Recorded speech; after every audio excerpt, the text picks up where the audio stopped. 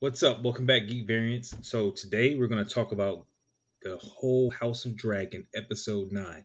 And the question is, does this episode 9 live up to the Game of Thrones esque episode 9 that we're used to seeing? We're going to talk about it.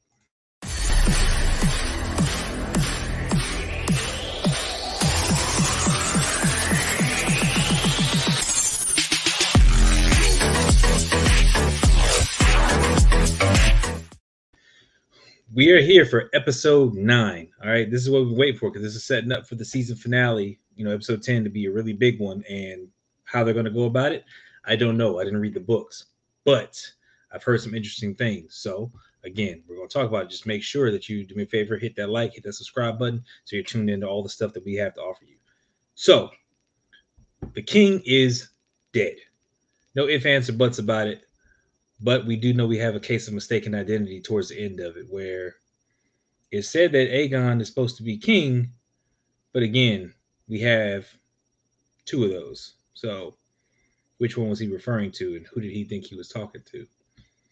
We already know freaking everything with his daughter, and that's where he was leaning. But of course, the queen took it a completely different direction. So, that's where we start up. So, everything's kind of set up to, you know, you know, usurp the throne from, you know, Rhaenyra, you know, before all this stuff was going on. They had already had plans to put Aegon in place and set all that stuff up.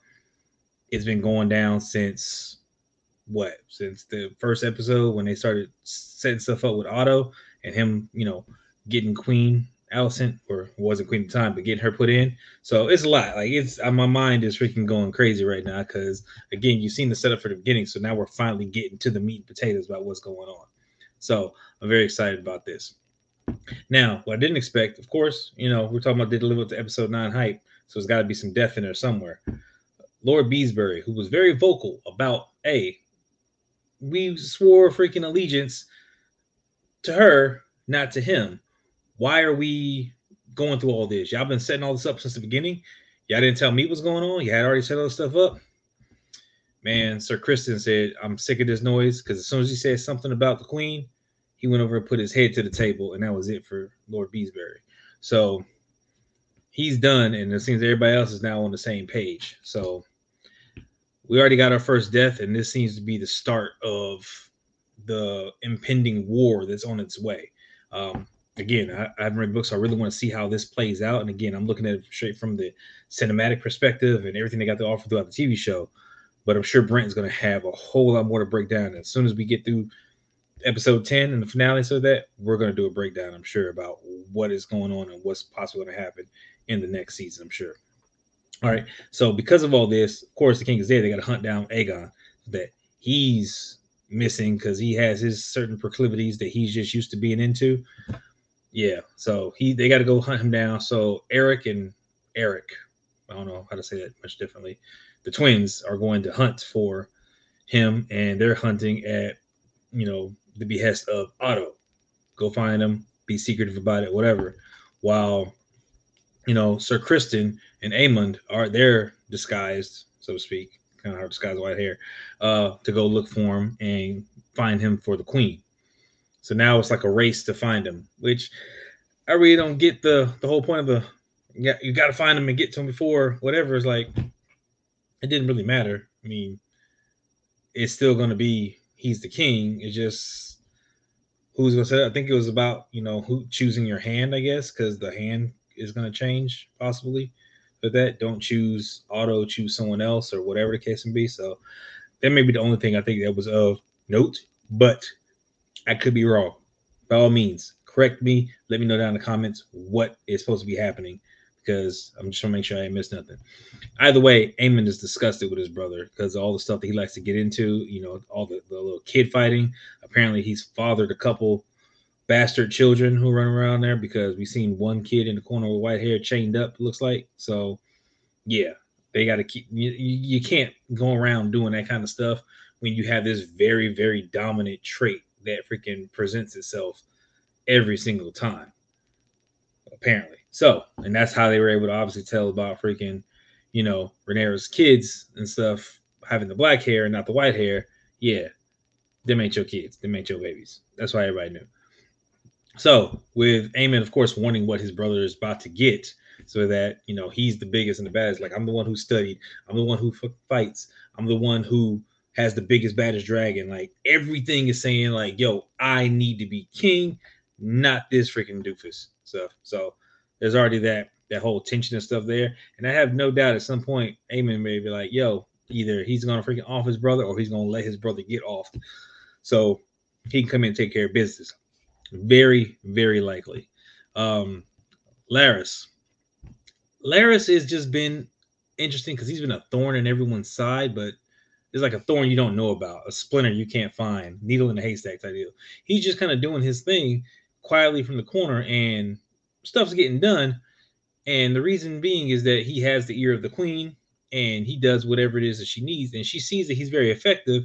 And in exchange, he gets to look at her feet not just look at her feet because like obviously that's something that he wants that he'll never have is you know a good set of feet he jerks off to these feet as well. Like this is what does it for him. So foot fetishes have been around for quite a long time people even in this day and age. So he's all about it. That's fine. It's whatever his thing.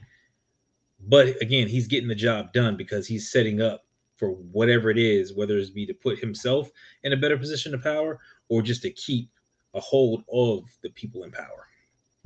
Let's see.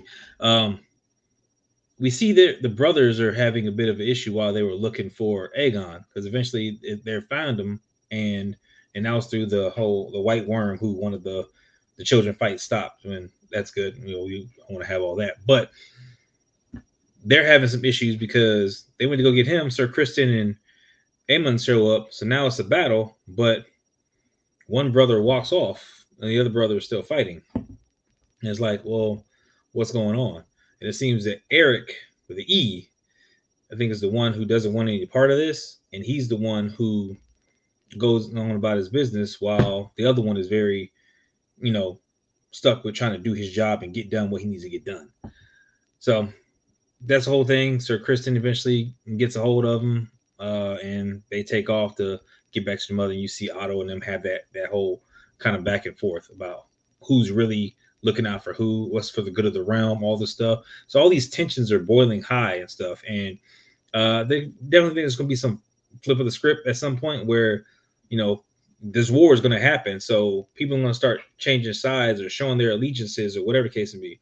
I think you had like everybody except like three bend the knee towards the new alliance or, you know, break their oath towards, you know, Rhaenyra's, uh, Rhaenyra to be queen is like, no, we're gonna have, you know, him be king. Aegon is gonna be king. We're gonna focus on that.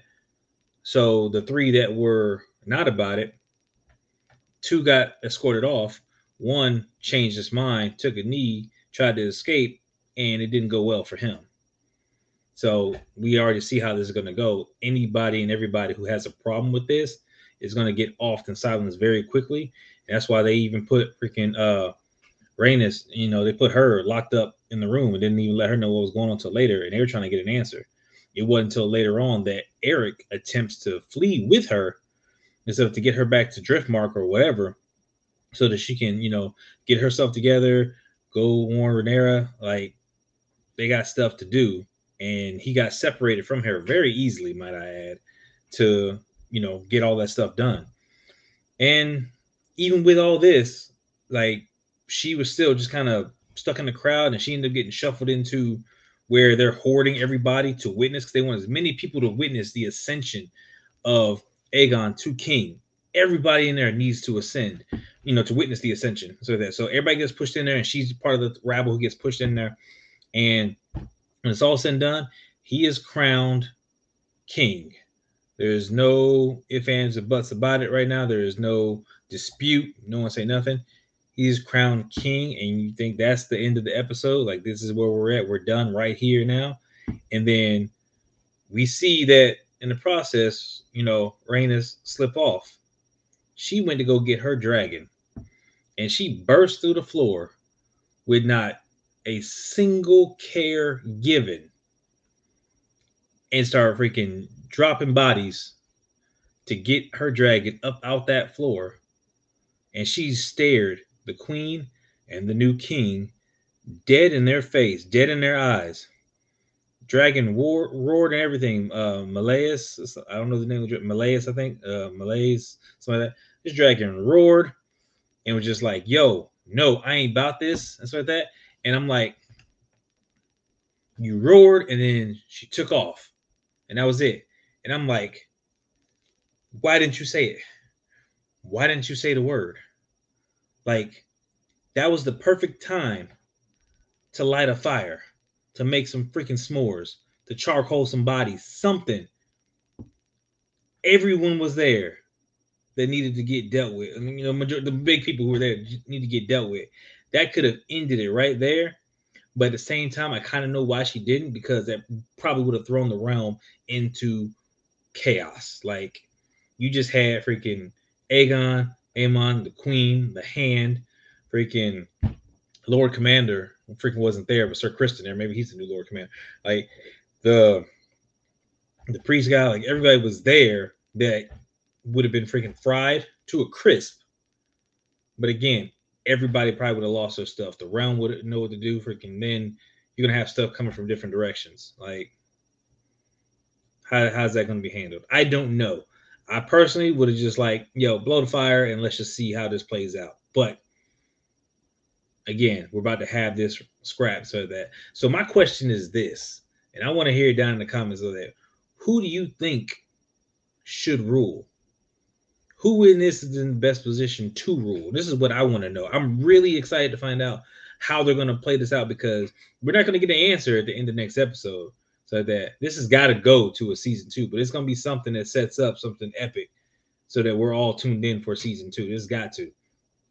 But we got freaking Aegon, who is the the ruler right now. We got Rhaenyra, who is the rightful ruler, according to the former King Viserys, who made his intentions known that she is to succeed him.